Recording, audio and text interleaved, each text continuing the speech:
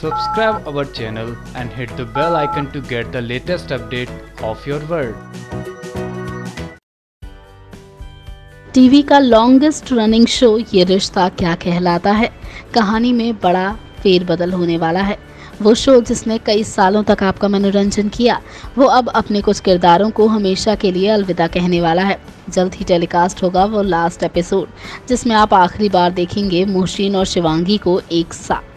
आपको बता दें कि कहानी शुरू हुई थी अक्षरा और नैतिक के साथ, जिसके बाद कार्तिक नायरा ने आपका खूब दिल बहलाया। और फिर कार्तिक अपनी नई लेडी लव, यानी कि शिवांगी का ही दूसरा किरदार, यानी कि सेम चेहरा दूसरे नाम के साथ शो में आया, जिसका नाम था सीरत, कार्तिक सीरत। इस जोड़ी ने भी आपको खूब रिझाया। और अब उस पड़ाव पे आ चुका है सब कुछ, कि सबको होना होगा रैप अप यानी कि ख़त्म।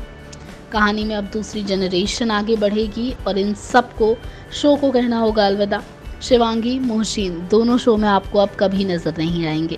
जल्द ही ये लास्ट एपिसोड आपको बहुत रुलाने वाला है, क्योंकि ये दोनों भी इस फैसले के बाद बेहद इमोशनल हो चुके हैं। दोनों ने एक लंबे समय तक इस शो के लिए काम किया है, दोनों को असली पहचान भी इस शो के ज़रिए मिली।